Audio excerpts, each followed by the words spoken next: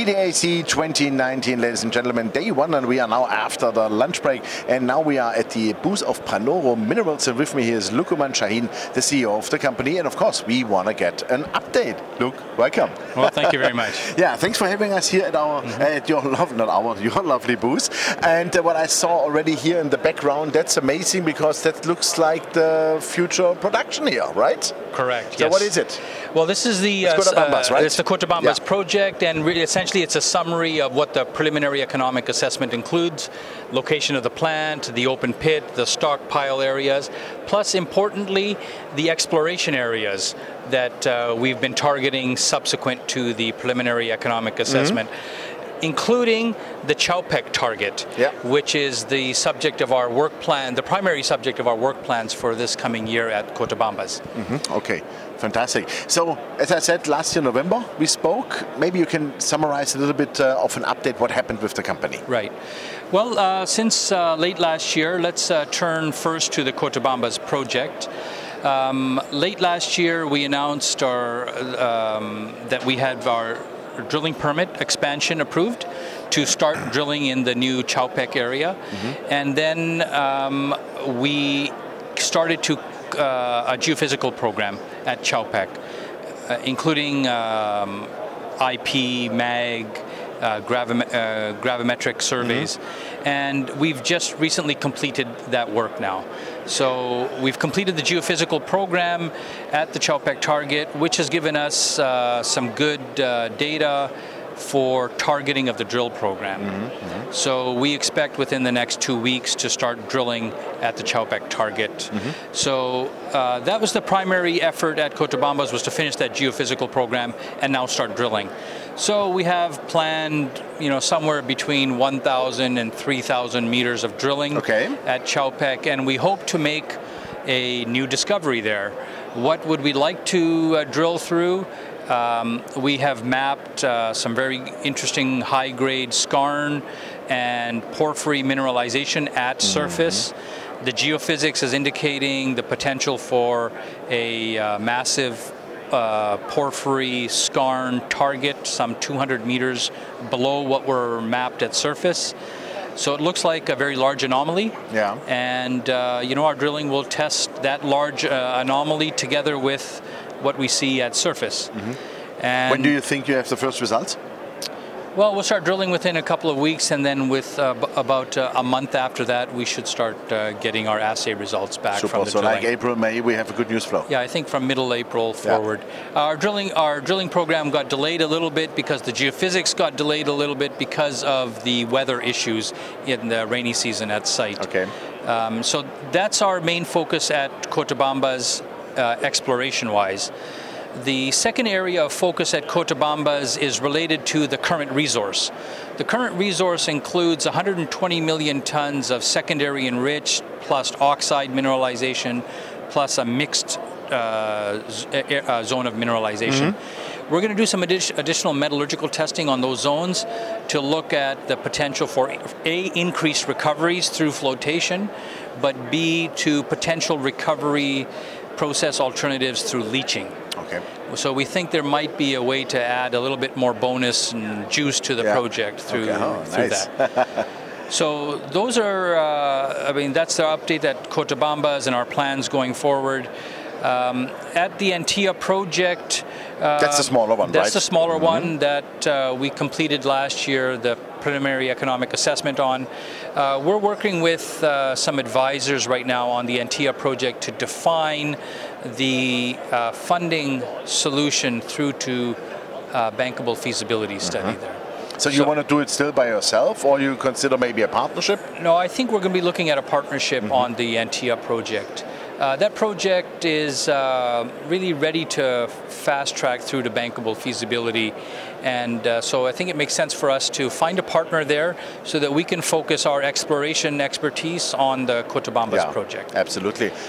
Um, so in addition to Antilla, uh, as we discussed back in November, we signed a a joint venture agreement with JOGMEC of Japan mm -hmm. on our Humamantata project. Mm -hmm And uh, late last year, we approved uh, a 20 to 36 month budget of some 3 million US dollars into Humamantata. And uh, the field work uh, for that, preliminary field work for that has begun. So that will be another focus during this year. Will be the the exploration work at Humamantata, which mm-hmm. is being funded by JOGMEC, but uh, being uh, managed by our uh, Peruvian exploration. Okay, so team. you have the full control. Right. That's important. Fantastic. So how is it going with, let's say, with Wheaton on the one hand, and probably Hudbay mm-hmm. is also in the game here, yeah? Right. And because you, are getting still your milestone payments from Wheaton, everything is in Correct. good shape, yeah. And uh, the company has enough money still, right? That's all good. Correct. Yeah, we uh, we have some five or six million dollars planned for investment this year, which is funded. That comes from our cash position. Uh, but also, like like you mentioned, uh, Wheaton Precious Metals. There this year we'll get another approximately two million Canadian mm-hmm. from them, uh, part of the uh, milestone or the the periodic yeah. payments on the yeah. the Cotabambas streaming agreement. Um, also, late last year, Hudbay uh, informed us that they had completed the permitting. Uh, sorry, the community agreement on the Cusiorco project, which we had sold to them. By completing the community agreement on Kusiorko, that triggered a milestone payment to us, which we received in January of this year. Yeah.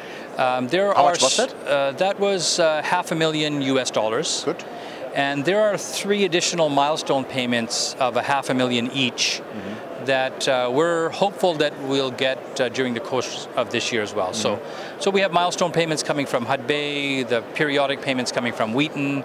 Uh, we are uh, we do have a decent cash position now, yeah. so we're not uh, planning on any. Um, uh, Raises, finances yeah. during the course of this year. Fantastic. So yeah. you know we're we're well well placed. We've got some time to uh, keep doing some good work. Mm, fantastic. What would you consider the fastest upcoming catalyst for the company now? Meaning, what what might drive the stock price in the near future?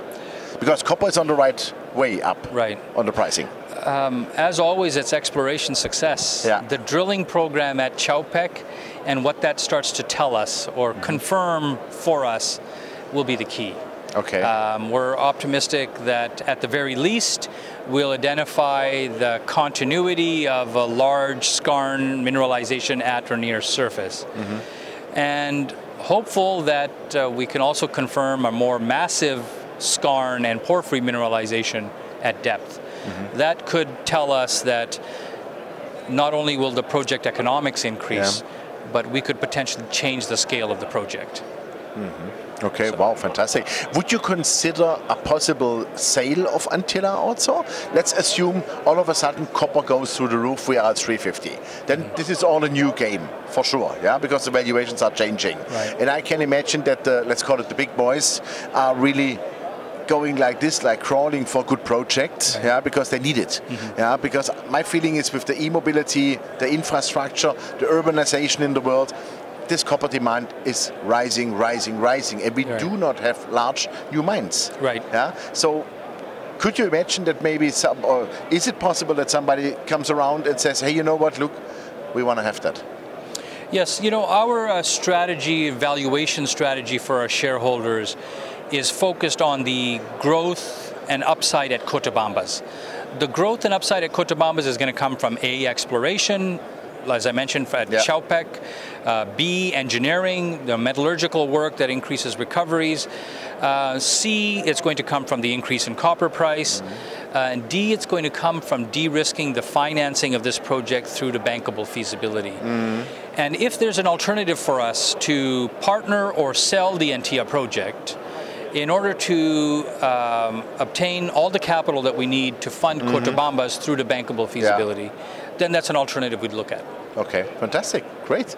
I'm not asking about the price because I know you're not allowed to say anything, but still, maybe a guess. What would be a price you could imagine?